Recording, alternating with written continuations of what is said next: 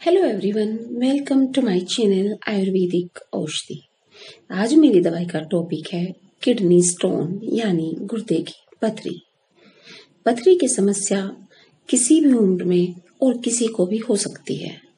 पथरी का दर्द बहुत तेज होता है। इसकी दवाई इस प्रकार है। छह ग्राम पपीते की जड़ को पीस लें और 50 ग्राम पानी में मिलाकर साफ़ कपड़े से छान लें। अब इसे सुबह और शाम पिए। पथरी गलकर यूरिन के द्वारा बाहर निकल जाएगी। यह प्रयोग आपको 21 दिन तक करना है और ये एक दिन की खुराक है। खाने में पालक, टमाटर, रेड मीट, बीज वाली फल, चाय, कॉफ़ी व बीज वाली सब्ज़ियाँ न खाएँ। पानी खूब पिए। कोशिश करें जौ का पानी पिए। वीडियो को लाइक करें, शेयर करें और चैनल को सब्सक्राइब करें। Thank you.